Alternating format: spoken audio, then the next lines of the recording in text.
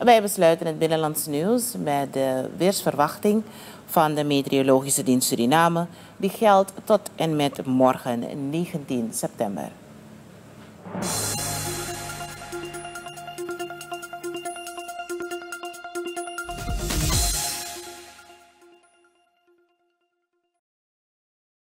In de avond kan overwegend in het binnenland mogelijk een lichte tot matige bui, soms met onweer voorkomen.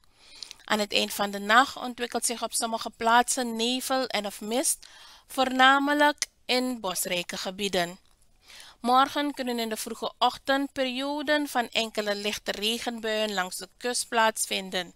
In de middag en begin van de avond zijn lokaal perioden met lichte tot matige buien, vooral boven het kustgebied, soms met onweer en windstoten. In de nacht kan het in geheel Suriname weinig bewolkt en droog zijn, met uitzondering van Brokopondo waar het bewolkt maar droog zal zijn. En in Sipaliwini waar perioden met onweersbuien kunnen ontstaan, soms gepaardgaand met windstoten.